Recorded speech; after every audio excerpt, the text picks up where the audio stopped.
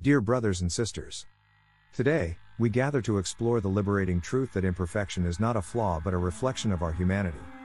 In a world that often celebrates perfection, we are called to embrace our imperfections and find solace in the boundless grace of our loving God. Romans 3:23.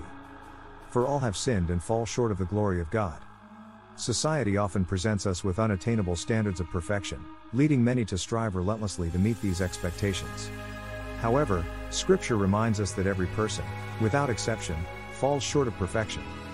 Recognizing this truth frees us from the burden of unrealistic standards and allows us to embrace our imperfections with humility. 2 Corinthians 12:9. But he said to me, My grace is sufficient for you, for my power is made perfect in weakness. Therefore, I will boast all the more gladly about my weaknesses, so that Christ's power may rest on me. Our imperfections do not diminish our worth in the eyes of God, rather, they serve as reminders of our humanity. It is through our weaknesses that God's strength is made perfect. When we embrace our imperfections, we open ourselves to receive God's grace in abundance, allowing His power to work through us despite our limitations. Galatians 1:10. Am I now trying to win the approval of human beings, or of God? Or am I trying to please people? If I were still trying to please people, I would not be a servant of Christ. Perfectionism often stems from a desire for external validation and approval. However, as followers of Christ, our ultimate allegiance is to Him alone. When we release the need to please others and instead focus on pleasing God, we find freedom from the suffocating grip of perfectionism. Our worth is not determined by human standards but by the unconditional love of our Heavenly Father. Ephesians 2 8 9. For it is by grace you have been saved, through faith, and this is not from yourselves, it is the gift of God, not by works, so that no one can boast. God's grace is the antidote to perfectionism. It is through His unmerited favor that we find redemption and salvation, not through our own striving for perfection.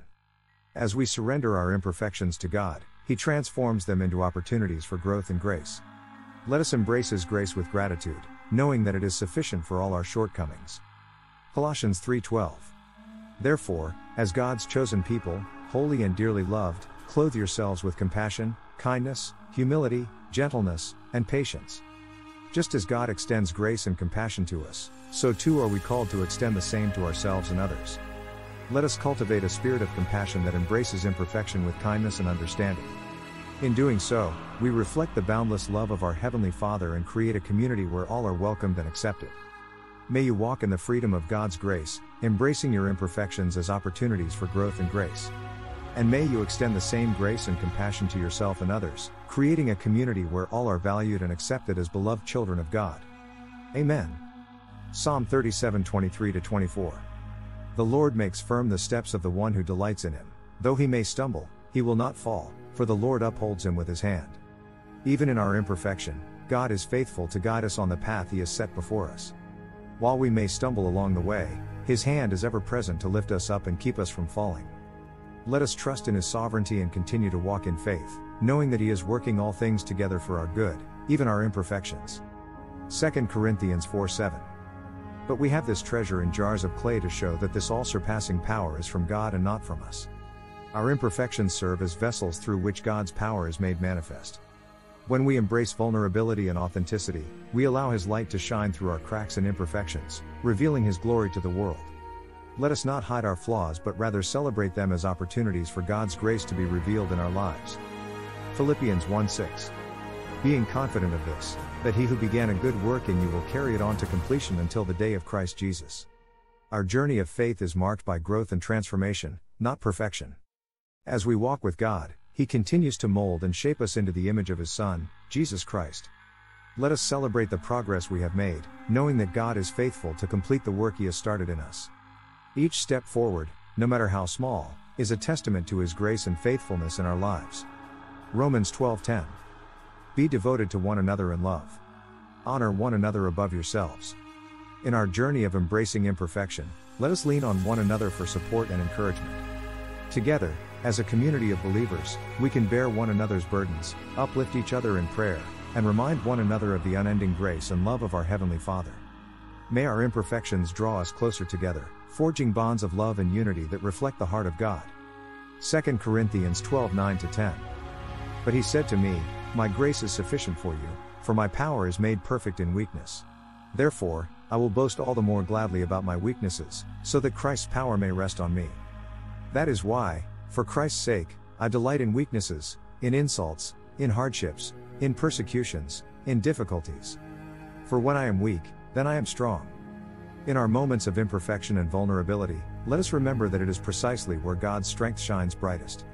Instead of hiding our weaknesses, let us boast in them, knowing that they are opportunities for Christ's power to be displayed in our lives. By embracing our vulnerabilities, we allow God's grace to work powerfully within us, transforming our weaknesses into testimonies of His strength. Colossians 3:12-13. Therefore, as God's chosen people, holy and dearly loved, clothe yourselves with compassion, kindness, humility, gentleness, and patience. Bear with each other and forgive one another if any of you has a grievance against someone. Forgive as the Lord forgave you. Just as God extends grace and forgiveness to us in our imperfections, let us also extend the same grace to others. By cultivating compassion and forgiveness, we create a space where everyone can feel accepted and valued, regardless of their flaws. Let us bear with one another in love, showing kindness and understanding, knowing that we are all works in progress, journeying together towards greater wholeness in Christ. Colossians 3:23 24. Whatever you do, work at it with all your heart, as working for the Lord, not for human masters, since you know that you will receive an inheritance from the Lord as a reward. It is the Lord Christ you are serving. While perfection may elude us, we are called to pursue excellence in all that we do, not for the approval of others, but as an offering to the Lord. Let us strive to do our best, dedicating our efforts to honoring God rather than seeking the praise of men. In our pursuit of excellence, may we find fulfillment and purpose, knowing that our labor is not in vain in the Lord. Philippians 1 6 being confident of this, that he who began a good work in you will carry it on to completion until the day of Christ Jesus. As we walk the journey of faith, let us celebrate the progress we make, no matter how small. Each step forward, each victory over our struggles, is evidence of God's transformative work within us. Let us rejoice in the knowledge that God is continually at work in our lives, shaping us into the likeness of His Son. In every moment of growth and transformation, may we give thanks to God, who faithfully carries out His good work in us.